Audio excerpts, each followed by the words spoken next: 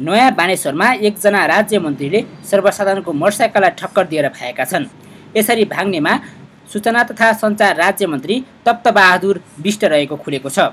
राज्य मन्त्रीको गाडीको ठक्करबाट मोटरसाइकलमा सवार दुईजना घाइते भएका छन्। विष्ट चढेको बा एक छ सात एक छ तिन नम्बरको गाडीले बा अडचालिस प नौ दुई पाँच शून्य नौ दुई पाँच शून्य नम्बरको मोटरसाइकललाई ठक्कर दिएको थियो। गाडीको ठक्करबाट मोटरसाइकल चालक सहदेव श्रेष्ठ र पछाडि बसेकी उनकी सानी आमा अन्जु श्रेष्ठ घाइते भएका थिए। घाइतेको अवस्था अचेत छ भने एभरेस्ट अस्पतालमा उपचार भइरहेको छ। ठक्कर दिएपछि मन्त्री विष्ट भागेका थिए। उनको गाडीलाई सर्वसाधारणले घेरे पछाडि प्रहरीले बल प्रयोग गर्दै मन्त्रीलाई भगाएको हो।